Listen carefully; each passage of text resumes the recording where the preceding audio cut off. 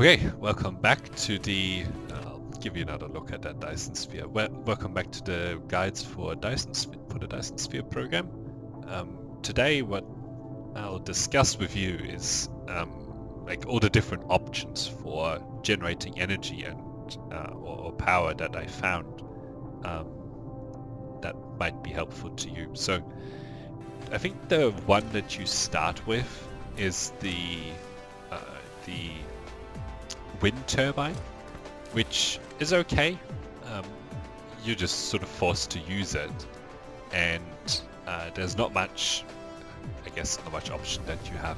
It doesn't generate a huge amount of um, power. I'm just trying to see if I can find any. I might have, yeah, I might have ripped them up, but um, they are useful in that they have, they just always produce power. Uh, so doesn't matter if the sun's up or not, um, or anything like that, they always just produce power, which is, is quite handy. And I'm still relying on them on some of the other planets that uh, don't have any kind of advanced power infrastructure set up for um, uh, for their particular case. So they're very useful early on, and they're also useful for when you just arrive on a new planet um, to kind of get started, kick things off. Um, there are other solutions as well that work pretty well that I'll talk about in a minute, but um, they're not a bad, not a bad start. Very easy to make, very cheap to make. Okay, the next energy source that you unlock, I believe, is this um, thermal power station, which is fairly useful. It produces uh, maybe what about twi 10 times the power output, but the problem with it is that you have to uh, keep it fed with something. And uh, any resource is at some point going to run out. So for example, you could feed coal into it, but you're going to run out of coal at some point, right, over the course of the game. So there's not much you can do um, about that. So re relying on these thermal power stations is not great. Um, but at the same time, they also produce quite quite a lot of power, which means that it's a lot easier to, uh, or it consumes a lot less area and it takes a lot fewer clicks to actually make a power solution work with this uh, kind of setup. But the other problem that I found is that it's really hard to judge how to actually set up, uh, you know, a scalable version of it because the consumption of the input is kind of variable uh, over time depending on uh, the load. So if there's a huge load on these, then they actually consume fuel very quickly. Um, but you can see like right now there's no load on it, so it actually doesn't consume the fuel at all. Um, so judging kind of without doing the number crunching, which I don't know is maybe not that fun, but um, without that you're going to struggle to actually put together a proper system that uh, will just continue to chain along things. Now the other useful thing for these is actually a dumping ground for materials that, that you don't really want, but it's also not perfect because uh, as you can see, if there's plenty of power in the system, it's not actually going to consume your fuels and then you have gridlock all over the place, right? So you can see that um, there's nothing being produced here because um, it doesn't have to be producing anymore. I don't think any of these materials are really needed here, but um, let's say that you are limited on uh, hydrogen and you just have that stored up well. Um, that means that you're also not going to produce all your other materials, so maybe graphene uh, or energized graphene or, or, or whatever else you're producing with the oil supply chain. So anyway, that's the uh, the thermal power station. So it's fairly useful, but I wouldn't rely on it in the long run. Okay, the next one is the solar panels, and I've kind of mixed feelings on the solar panels. It's probably the only uh, sort of mid-game power source that is going to be very good to use, and in that case you you have to set up something like this ring around the equator that you can see has been put together here. Um, the reason for it is that it actually needs the sun to operate. And if you don't have the sun, then um, you're not going to get any power. Uh, but I don't know, the number of clicks that it takes to put something like this together is quite a lot. So it's not particularly fun to put together. But I also don't, until you have unlocked the Dyson Sphere, um, there's no other good mass energy production solution um, other than the solar panels. So um, it may well be need to be a feature of your game uh, as well. Then the, I guess the most thematic power source that you can rely on is the Dyson Sphere, which is pretty good, but you know it takes quite a bit of time to actually get to the point where this is useful. You can depend on the Dyson Sphere with just the solar sails, um, so without the shell, but just the solar sails, which is a little bit easier. But these solar sails decay over time, so um, you only ever get to a certain level where the rate of decay is the same as your rate of production. So you can't infinitely scale when they are just um, sort of floating around the place. They have to actually be in the shell formation for them to stay around uh, over time. And then the other problem with the Dyson Sphere is that um, you need to have uh, these you need to have a line of sight with these I'm trying to find one um, with the X-ray collectors I think they're called. Uh, yeah so these ones you have to actually have line of sight with the Dyson sphere for them to work. And on this planet it doesn't really work. Uh, for example it, if um, this gas giant gets in the way then they're not going to work anymore. So they have a similar problem to the um, solar panel depending on what the planet is. So it's not perfect to rely on them.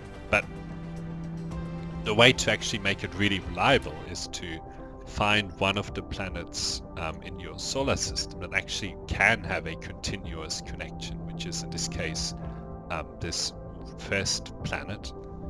And I won't fly there right now, you can watch the previous video to see this in action, but this has a whole bunch of them planted on it, and then it uses these um, accumulators to exchange energy uh, with the planet. I'll show you how that works. Uh, if I can find them. I think they're this way.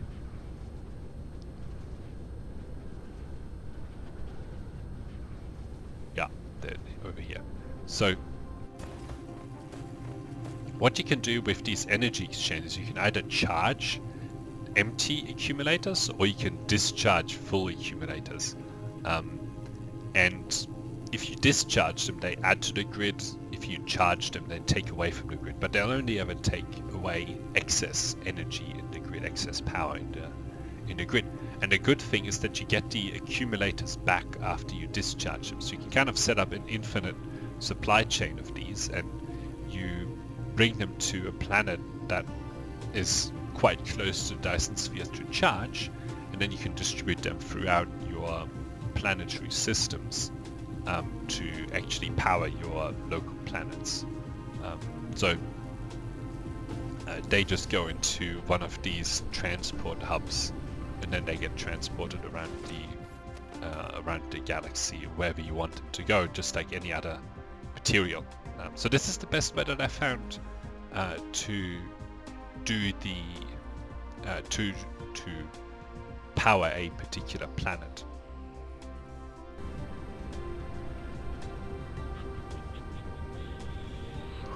Ah, over here. So what you do with your so, so to produce these excited photons, uh, the critical photons I should say, is that you put them into that you use one of these ray receivers and then you turn it into the photon generation mode where it's going to produce these photons.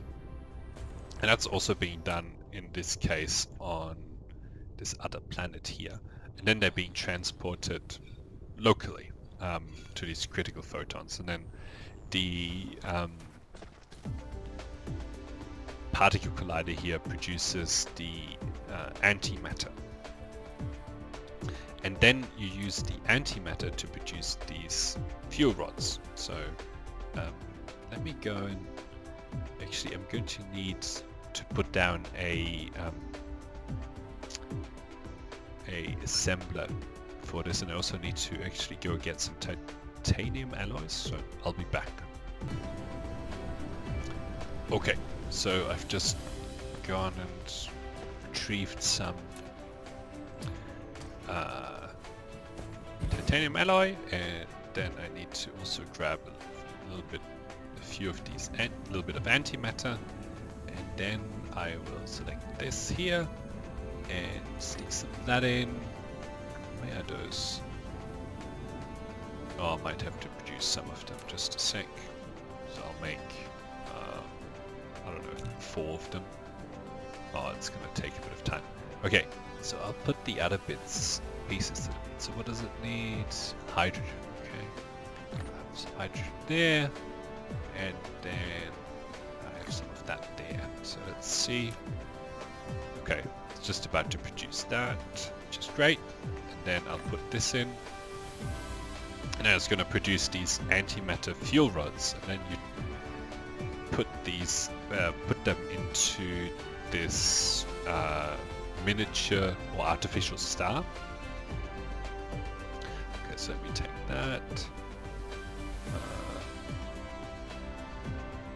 and then it will, well, it won't actually produce any power in this case because it's connected to the grid. So let me disconnect it from the grid and then it'll actually produce some power, which is pretty cool. So this produces what?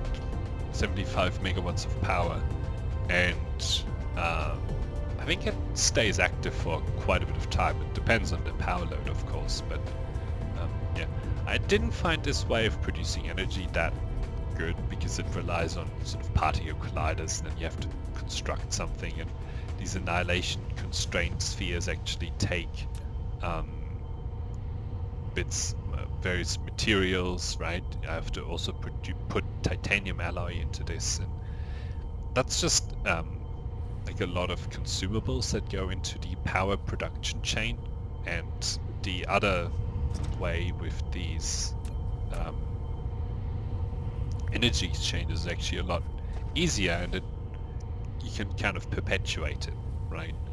Um, there's no uh, consumables or there's no reduction in any material associated with putting together uh, or powering a planet with these. So uh, I'd say that's the best long-term energy production approach that I would recommend.